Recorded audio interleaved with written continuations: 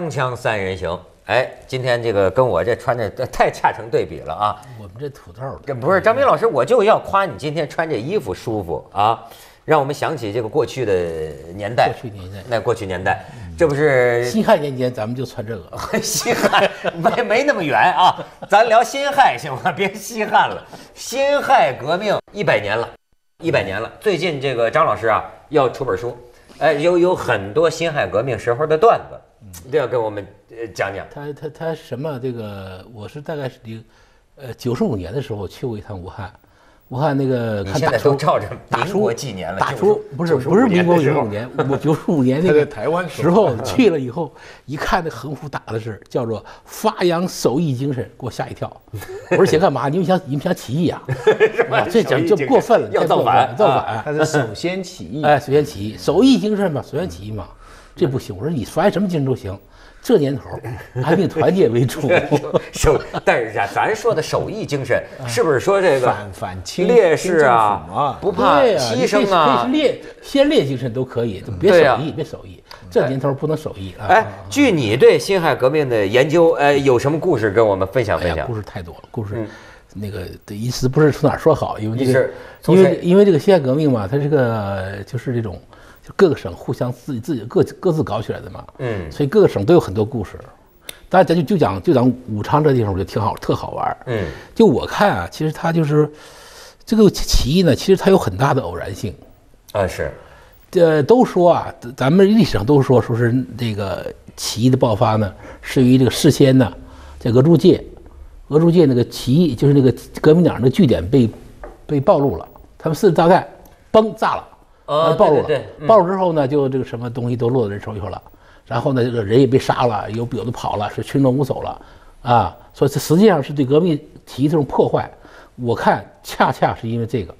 如果这个起义据点不不被破获，如果这帮头儿不跑，按部就班的起义，我估计十有八九成不了。怎么讲？为什么呢？在这半个月之前，他们搞过一次，也跟那次一样，也是一帮小子起哄的，啊，枪就开了，开了以为满指望大家会响应呢，结果大家没动静，假装不知道。这一小子弄了半天，一看没人响应，赶紧跑。你说这半个月前、半个月后，革命形势不都一样的吗？那有什么区别？你的意思是一些偶然事件反而促成了这么历史巨变？对呀、你像比如说这个事件是这样的，说它它意义什么呢？他说，你说那个当那边那那那帮那帮起义领导人也是够招的。你说你把钱丢那儿也行，把枪扔那儿也行，把什么大印呢、什么旗子都扔那儿也行，你把花名册你都带走啊？你趁那时候你花名册扔那儿了，没错，花名册落在那个湖广总督瑞成手里了。照着然后。你说你说如果如果瑞成呢聪明一点呢，你马上抓人也行，马上就马上残酷镇压，马上镇压，这也也弄住了。或者你说是当众一把火烧了，你说他咱不追究了，嗯也没事儿。对，他呢抓了几个人，又杀了几个人，然后第二天晚上就传说这小子按图索骥了。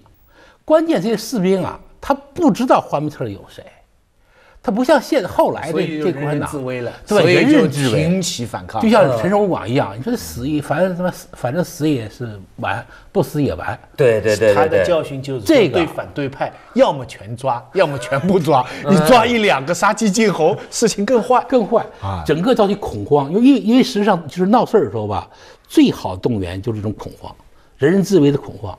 但是你就你刚才提的问题，它是个问题啊。为什么半个月前起事，全国没什么反应，但半个月后起事就各地全国没什么反应，革革命形势就是那日千里那新居士兵，他的同志们都没反应。那为什么半个月之后这一下子各地都都响应呢？后后来是这样，就是后来他是他响应的是，就是后来他是他是这样想说，实际上这人呐要造反啊，你平时说说讲，这让你造反吧，你气障碍还好老大了呢。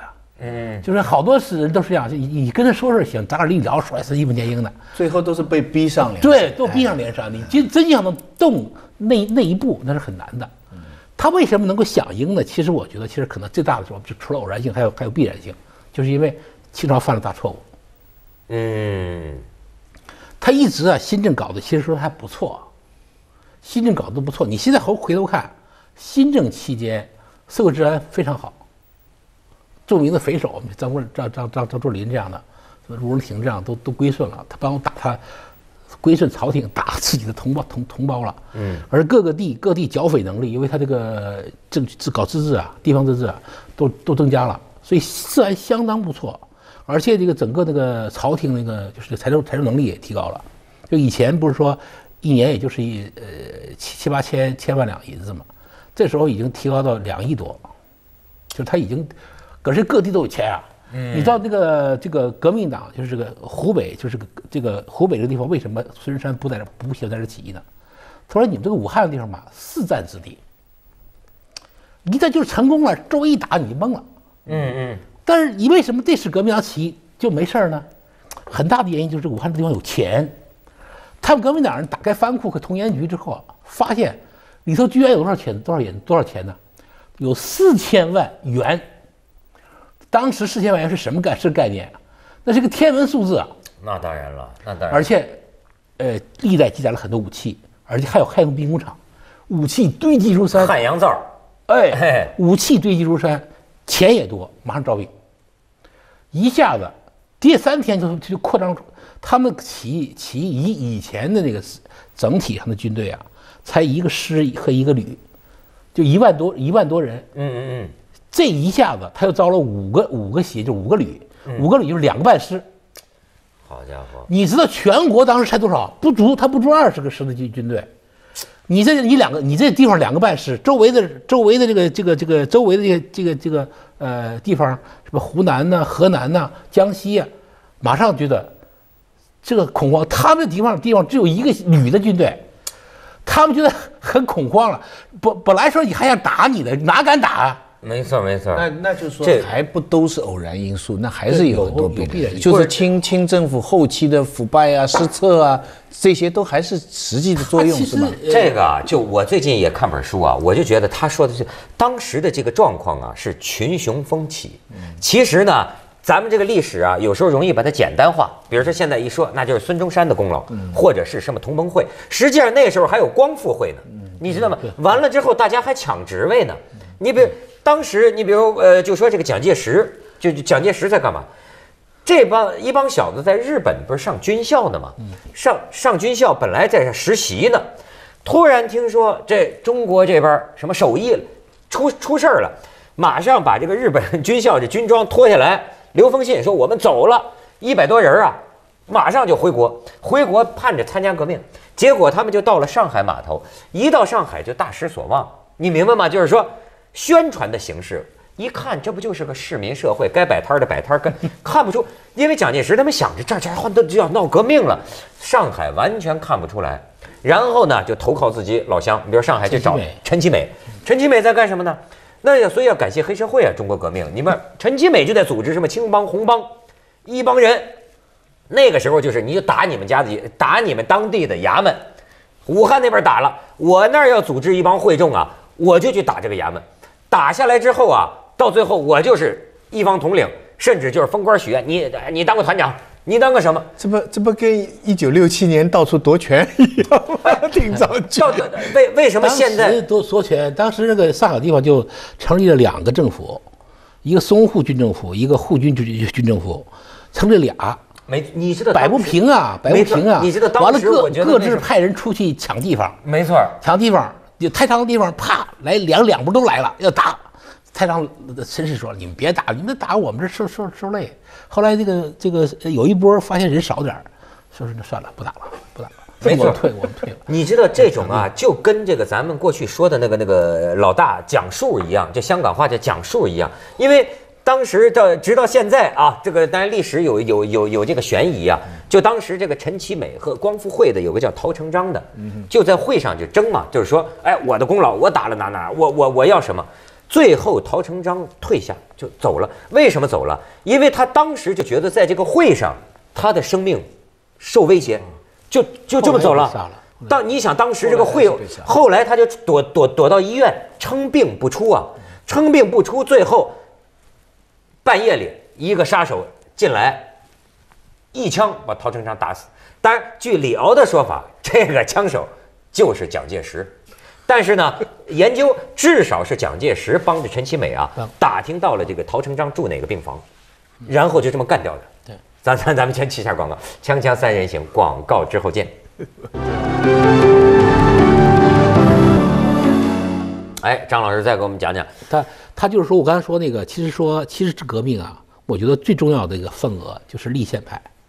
其实不是说革命革命党是多少力量，因为革命党是之前搞了多少次起义，虽然说搞十十次起义，都是边边角角，什么曹州啊搞一把，什么镇南关搞一把，什么什么婺州搞一把。你说这种地方是边边角角的地方实战，你起义。起义就算成功了都没什么意思，他说这都成功不了，收买些人，呜呜起起发哄，啊，钱花光了，死人海外华侨那儿弄点钱，弄点回来打一打，回来把把钱打买些人雇些人在这搞一下子，根本就没成不了什么事儿。革命党是没多少力量，有力量的是立宪派，就是我们讲说这个，我们说当就是当时的一些士，就是出出名的士绅，就是资玉吉这批人，嗯，武汉士兵群龙无首混起来了，打了一天早上，打了一打打到早上，瑞城跑了，挖从后后墙挖一个洞，跑了，跑了以后呢，这不就成功了吗？成功之后发现没头儿，没头儿啊，头儿他他是谁头儿啊？这个吴兆麟是个连长，所有军官都不参加，就吴兆麟连长，连长他他说我连长也不行啊，完了说咱们把那个李彦宏找来吧。李元宏躲藏吕起来。彦宏是个反动军官啊，当时他还杀了一个革命党人呢，他根本不想起义，但是把他抓了，弄了以后，弄了以后就把他给就让他当上干。嗯，但是谁愿意干呢？当时湖北咨议局的议长汤化龙他愿意干，第二天到了，而到了从议了，从议了，而且不光是这样，我看整个这个过程中，你看，比如当一些大大师像，像张謇呐、汤寿潜呐、什么像程德全呐、还有这个谭延闿呀、这都大师大相师，都是议长这这一级的人，全都起，全都跟了，就全都从议了。有没有从有没有有没有比较大的呃电视剧拍这些东西？电视剧咱就不知道，听说过一纪录个有片走向共和当年有个电视剧《走是吧向共和这》。共和有，嗯他是他为什么呢？就是说这个之前呢，他不是有一个立宪请愿吗？嗯立宪请愿就是立宪请愿，人家是干嘛？这些士绅们请愿什么的，你让你早点立宪呢？是我要跟你分享权利。我倒不是说他们对民主其实也没也没有太多的认识，但是我会我是可以通过这分享权利，他们知道的。你觉得回过头来看，中国有没有一个机会是君主立宪的？有没有这么一个？在那个时候，在清朝亲政的时候是有这个机会的，那是清朝最后的一个机会，就是说你只要就是说你这个政权这个时候你不能犯错误，嗯你犯错误你就没机会了。就他实际上他的机他的可能性就在于他能够维持下去的可能性呢，就在于他能能搞下去，就是他只要他不犯错误就行。如果当时立宪他他立宪了，他还能维持就是说那个局面，就是说我还是分权的，我尽量把权力往下分，别走日别别老抓着我这个满就是人手里头。就是日本的走日本的英国的这一条对一条路，而且当时中国也就只能走这条路，走的是比较合适的，因为中国需要个皇帝。中国是你两天地制嘛，你需要个皇帝。对。但是你恰恰你清，你这个革命党的宣传，它主要集中在排满上。嗯。就是你非我族类嘛，你你什么扬州十日，嘉定三屠。对对对对对，排满上。但是如果说你干得好也就罢了，以前我们历史不追究了。但是你干得不好，他谁呢？零八年西太后死，光绪都死后以后呢，他们这些少年亲贵啊，摄政王载沣才二十五岁，他周围这帮小子也就是二十郎当岁的一帮一帮一帮少年亲贵，一帮太子党。嗯，就这帮人，嗯，什么事儿都不懂，想收权，一个把地方权力收回收中央，就是收路况权嘛，嗯，再一个就是从汉人手里头收回收回到满人手里头，所以搞皇中内阁。本来我是想跟你分享权利的，你结果你不但你不给我分享权利，你不答应我立宪，而且什么呢？你还要把我已经有的权利，比如路况权，你收回去。汤化龙就是刚到北京请愿，特别生气，回来以后一肚子气，不干了，老子不干了。他一参加可了不得，你知道起义士兵满打满算才三千左右，嗯，那么大个武汉三镇，你三千兵算个啥呀？对呀在汤化龙手里有商团啊，商团在这个起义中啊起了很大作用，包括上海就是上上海打下来的，商团打，打商团？商团，什么叫商商团就是那个商人组织的武装，平早就练了。哦，就是商人的平时练团练，等于是。平时练，他每个商铺都出人，嗯。出出出伙计，有发服装、发枪，平时还打靶，啊真刀实枪的，你以为啊？城城管保安，他那个人人家是民间的城管保安，商人团练人家人家是有武装的，嗯嗯嗯，他们你这武汉上传一万多枪呢，开玩笑嘛？你说一下子出来维维维持地面，然后呢，他呢关键什么呢？当时海军来镇压，海军当时已经有四艘比较大的巡洋舰了，来两艘重巡洋舰，那炮很大，嗯，当时黎元洪是出任海军的，他说我咱不能革命，这革命的炮一打过来我们就懵了吗？结果海军来了，他没革，他就没打，为什么呢？海军就一肚子火，军舰的舰长换成谁了？换成满人了。满人哪儿毕业的呢？咱们颐和园，颐和园昆明湖那个贵眷，那个那个海军学校毕业的。就那儿练出来的海军，昆明湖你说他他他能他能当军长吗？嗯，人能服气吗？而且中国海军都是都是这个专业性很高嘛，对吧？而且还都是服，这是呃派系很厉害，这还是这个高干子弟搞特权的，搞特是吗权，？就大家啊都都急了嘛，不服而且那个他呃沙镇兵就间接就是在海军大臣的沙呃那个大臣那个呃这个副官，就就是特别知心那个副官，就汤湘明，后来就是就是就是屠夫了，那当时还是好人呢，他是汤化龙的弟弟，汤化龙的弟弟，汤化龙就写信给他，完他就在这游说，结果人家海军起义了。哎呦，就是说清代实在最后是太腐败了，所以这个君主立宪也不可能。也得有，我觉得倒不是说太腐败，关键是他什么呢？就是他自己这个犯了一个最大的错误，他认为江山是我们打的，我就应该收回来。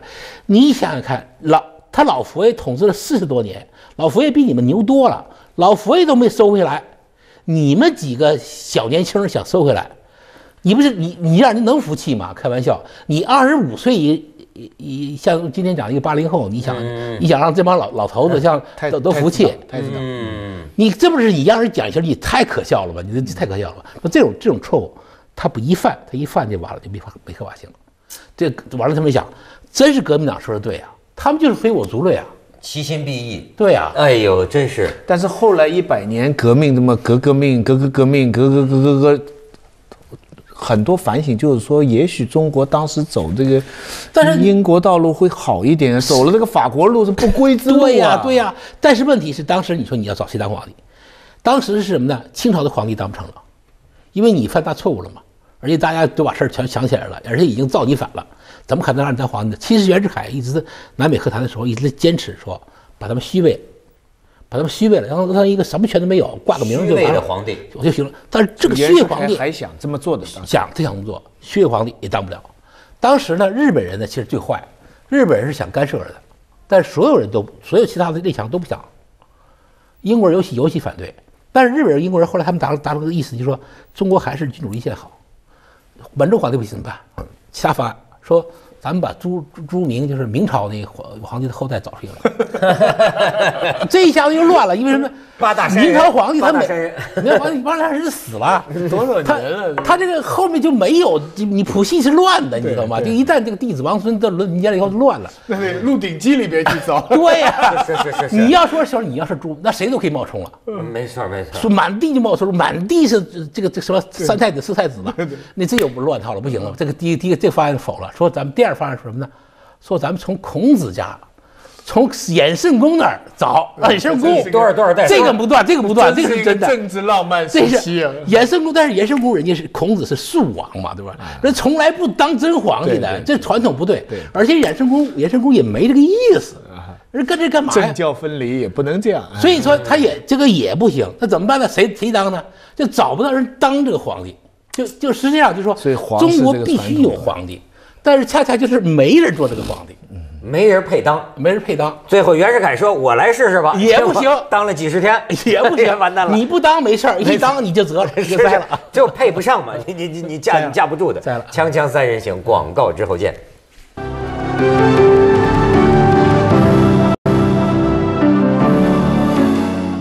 他这意思啊，感觉这个民族主义啊，还真的是个特别重要的历史推动力。当然，你说这个，如果说是是不是清末，而且那叫呀，假如没清朝，是明末汉族人，汉族人的这个皇帝，一直到最后，是不是没准儿就君主立宪的这个体制可能更大？就是这个路子最好。但是因为你是满驱除鞑子嘛，对吧呀？满人你鞑子你又犯错误了，啊。